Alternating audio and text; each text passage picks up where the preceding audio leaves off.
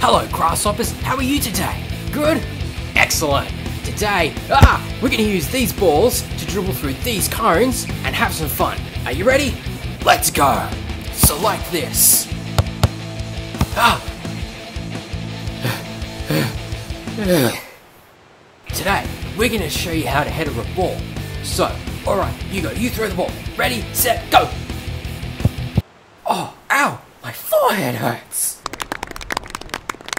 So you throw this ball far as you can. Ready? Feet on the ground, all the way back, and... uh, Yeah. Woo! Yeah. Whoa. James is going to help me today to demonstrate a one-on-one game. Alright, James, I'll get you to go to your end, I'll go to mine. Hey! That's my, uh... Whoa, you just got wrecked. Don't be like Sam. Sign up for Grasshopper Soccer today.